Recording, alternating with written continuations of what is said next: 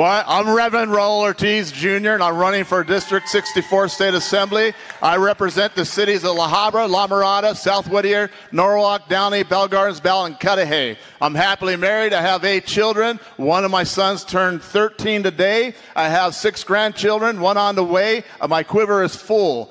Uh, so you can reach me at Raul Ortiz for assembly.com.